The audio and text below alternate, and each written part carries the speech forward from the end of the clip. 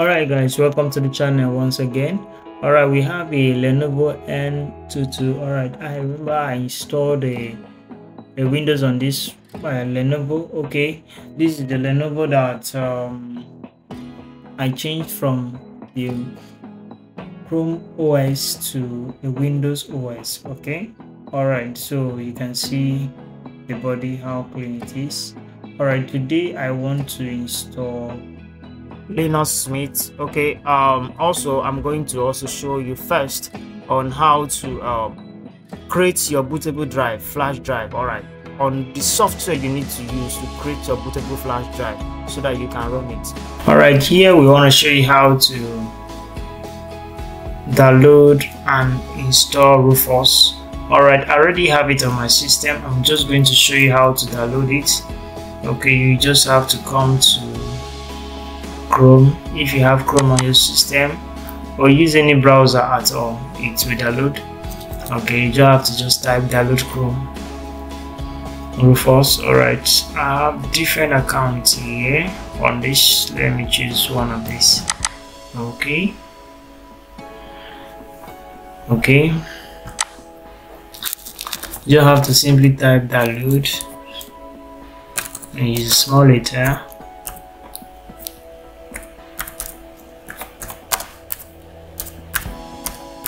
okay Rufus is going to help you. You can use any of the yeah, any of the um, versions sorry.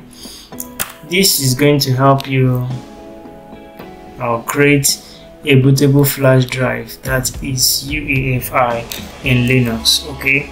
This is the only software you have to use to create a UEFI when it comes to um, creating for Linux okay remember I did a video on how to install um, Linux on um, Windows system and the Windows system was a sixth generation system. Okay that sixth generation system accepts legacy and if you want to use a Win setup that's when you want to use a legacy mode. Alright but if you're going for a UEFI mode. Alright you have to use Rufus. Rufus is the software is the, is the right software you have to use to burn in your flash drive. Okay what you just have to do is after you are done downloading this you have to download this. After done downloading it okay this comes with all these packages. I think i don't want all these packages now i don't want this i don't want this. Let me check the other side. I think it downloads okay. It has downloaded alright. I already have Rufus in my system. What you just need just click here and continue it will install. Okay. Let me just run the process. Uh, I already have it in my system. It's saying is already there. Okay. So assume you have a flash drive on your system. Uh, this is the raw file. Okay. Let me look for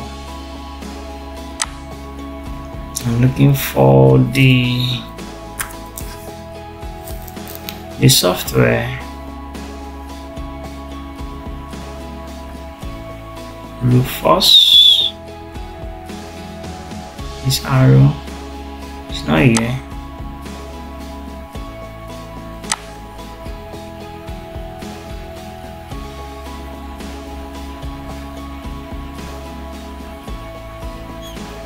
Come is not here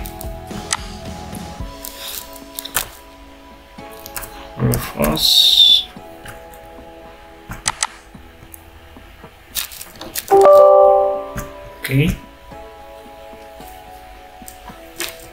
Gonna wait for it to open up okay? Now after downloading this is how it's going to show okay? What you simply just need to plug in your flash drive click here then you select your OS which I have here already. You select your your ubuntu or your linux software. The next video i'm going to do is on ubuntu. Okay you support you you put in your linux mint here. After that what you just need to do is ready. You keep on ready and start because when you are plugging your flash history it will erase all the flash information and put in this linux operating system and what the disadvantage about rufus is that you cannot create a multiple um, bootable flash drive. But while using your win setup this other one you can use can use for multiple um, setup like operating system being installed on that uh, um, flash drive. All right. So that is what you need to know about these two softwares okay?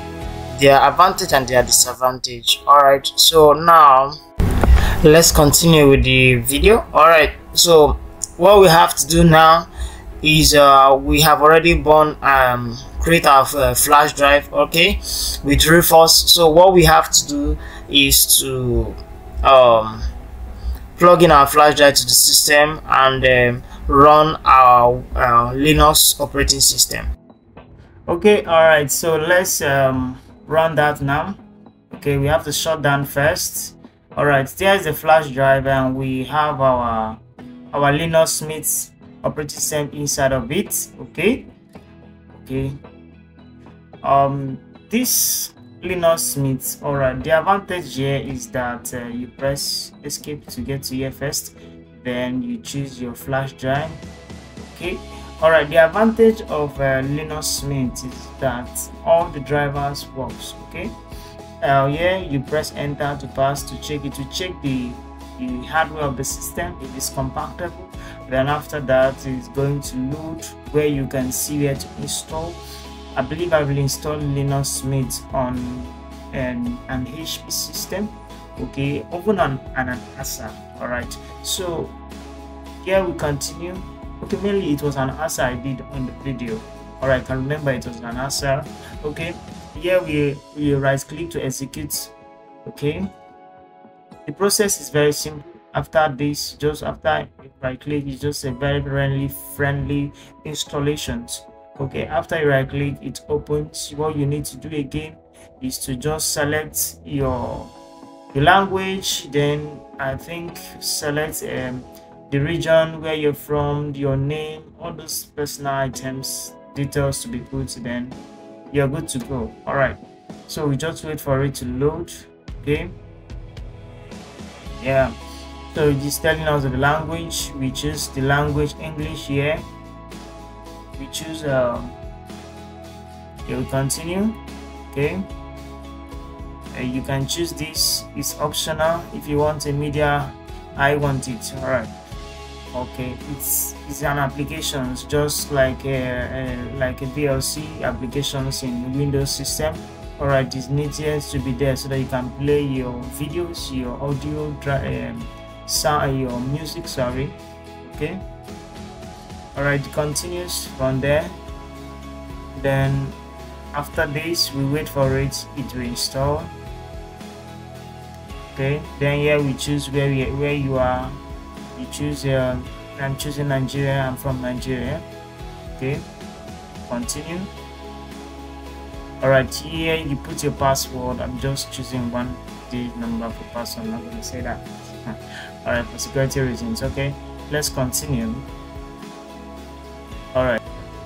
okay what you, you can see now is installing okay this process is installing the information uh, from your flash drive to your SSD. Okay, these are all the information that is needed to be stored for the operating system to work effectively. After all this to be done, all right, you in the system you have to restart from this process. After it's done, after restart. After restarting, it gets by loads, and when it's booting, it boots to your SSD, and when it boots to your SSD, all the necessary drivers and things will be installed okay? Your mouse will work instantly. Your you don't need to get drivers for that. You don't need to get drivers for your sound. Also your sound works perfectly. You don't need to get drivers for that. You don't also need to get drivers for your uh, display um, drivers. You don't need to get that. All right that is the good part of linux. That's just the advantage of linux over windows when it comes to um, putting a operating system on a new operating system on chromebooks. This is just a test run to tell you that yes it works and it works very well. I know you'll be asking a question now because it will work with other chromebooks. All right yes it works very well. In other chromebooks um, i think except an arm processor chromebook because an arm processor chromebook is a 64 is a is a 32 bit chromebook it runs on 32 bit um, processor so which is is not um, compatible when you want to um, um, change the firmware from a Chrome firmware to a Windows firmware. That's where the problem is. Okay, you can't do that. After you can't convert that, when you can't convert that, then you you can install a Linux on that uh, Chromebook. All right, but I think I'm still going to do research on that on how to see how to break through that AI processor. Let's see if because I've seen um, Linux operating on 32 bits. So just imagine if it has it. Alright, we have restart and you are seeing you are seeing it's getting to the desktop. Alright, so now it has got to the desktop. All that all things are installed, the mouse is working, everything is working. Okay, you don't need to install the drivers for it to work. Okay, I was just saying that if we have a Linux operating system of 32 bit, there's going to be a tendency of it working on an ARM processor. You get, but I haven't discovered the method yet, so I'm still working on that. Alright, if you have an input on that, please you can drop a comment on the comment section. Also if you have a question you can also drop on the comment section. Please don't fail to subscribe like and share this video to those that need it to your friends to your loved ones and to the necessary people that need it that wants to use it. All right thank you so much. I am so happy to when i discover new things i i share to everyone. All right please thank you so much for watching. You can see that um, i'm trying to show you that the wi-fi is working. All right you can see the Wi-Fi is working.